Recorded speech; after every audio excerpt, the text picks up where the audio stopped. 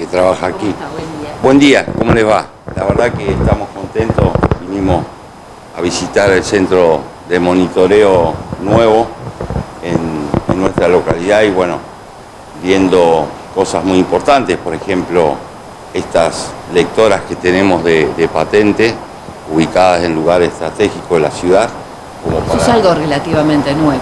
es nuevo, es nuevo, totalmente nuevo. Todo el sistema que se incorporó con lo que teníamos, ensamblamos e invertimos más de 25 millones de pesos en, en lo que es eh, monitoreo y el tema de, de seguridad en nuestra localidad. Estamos hablando de que hemos gestionado tanto de nación como de provincia más aportes del municipio para que esto esté funcionando de la mejor manera posible, dándole un aporte a la seguridad. Si bien no hace todo esto a la seguridad de una ciudad, hace la iluminación, hace los controles, todos los movimientos que hacemos con las distintas fuerzas municipales y de comando, de, comisaría y de todas las fuerzas. Eh, esto es un factor fundamental de prevención eh, para nuestra localidad. Por ejemplo, yo les muestro aquí en este sector donde no teníamos monitoreado la zona de- del cementerio. ¿Dónde está? En este, acá, aquí.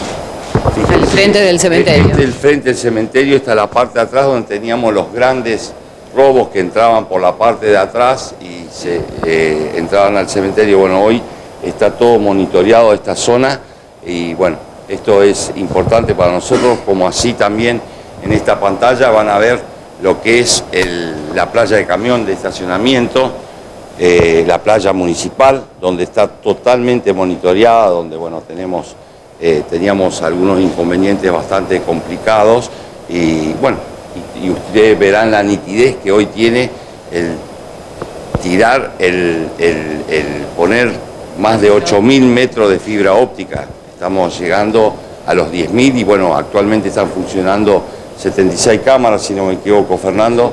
Eh, 76 cámaras, la idea es llegar a las 100 cámaras eh, para que bueno, nuestra localidad tenga este sistema que ayude, reitero, a lo que es eh, la seguridad para nuestra localidad.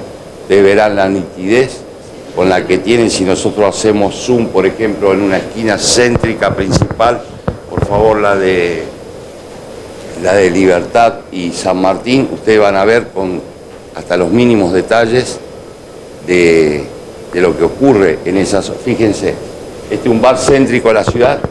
Si nosotros arrimamos más todavía el zoom, vamos a ver hasta las patentes de los vehículos y las personas, eh, la fisonomía, la cara de lo que está sucediendo en este preciso momento en la localidad. Fíjense. Es un lugar clave, ¿no? lugar Porque es clave. el microcentro de la ciudad, boliches bailables, Exacto, bares, exacto. este, zona de, de, bueno, conflictos a veces en los fines de semana. Está muy bueno. Entonces, eh, ante cualquier desmán, bueno, tienen la posibilidad y la actuación rápida de, las distintas, obviamente sale la información desde acá, inmediatamente se activa un sistema, un protocolo en el cual eh, actúan las distintas fuerzas, eh, tanto municipales como las policiales, ¿no? Así que, bueno, esto es un aporte muy importante para nuestra localidad, no nos olvidemos de este detalle, Estela, cuando yo asumo el 2015 teníamos cuatro cámaras en funcionamiento, de las cuales las cuatro cámaras eh, eran obsoletas, totalmente obsoletas, y hoy llegamos a esta cantidad gracias a muchas gestiones, muchos viajes, mucho trabajo y eh, el agradecimiento al personal que ha trabajado en este tema. Bueno, la gente del monitoreo está capacitada, se la ha llevado a, a hacer capacitaciones en la ciudad de Funes, una- uno de los centros de monitoreo más importantes de la provincia de Santa Fe, eh, que están en la localidad de Funes. Y bueno, eh, esta es la idea, ir capacitándolo permanentemente para que ante el mínimo detalle tengan en cuenta eh, que bueno, puede estar corriendo riesgo la vida de un vecino, o le están robando a un comercio, o están ingresando un auto con un pedido de captura.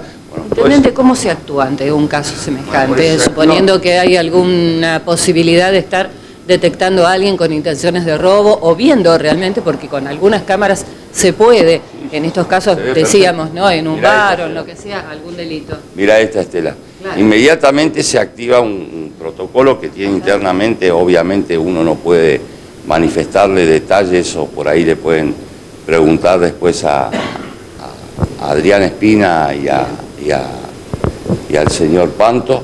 Eh, hay un rápido contacto. Hay, un rápido contacto con, primero con, nuestras fuerzas locales que están permanentemente alertas, eh, tanto GUM como tránsito, como todas las áreas que nosotros tenemos para prevención y inmediatamente se, puede trabajar eh, y prevenir inmediatamente un, delito o cualquier un accidente, un accidente que pase eh, se llega mucho más rápido. Así que bueno, apelo eh, al trabajo que viene haciendo la gente de monitoreo y, y la verdad que yo estoy contento con el trabajo que están haciendo, hacían a veces lo que podían con lo que tenían.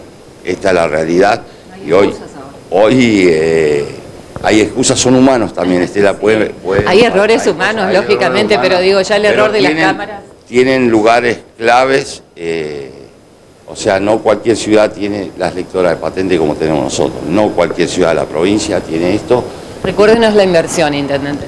Y estamos hablando más de 25 millones de pesos porque hemos conseguido de provincia y de nación aproximadamente 18, 19 millones de pesos, yo creo que me estoy quedando corto, porque hemos invertido, nosotros fuimos haciendo y tirando fibra óptica antes de recibir eh, los, eh, los trámites que hemos hecho de, tanto en provincia como en el Ministerio de Seguridad de Provincia como en el Ministerio de Seguridad de Nación. Fuimos haciendo y avanzando permanentemente con esto, nunca nos hemos detenido. Eh, si bien eh, la sala hoy está prácticamente en un 95% de lo que yo quiero que esté. Eh, la vamos a, preparar a llegar a 100 cámaras mínimo en nuestra localidad.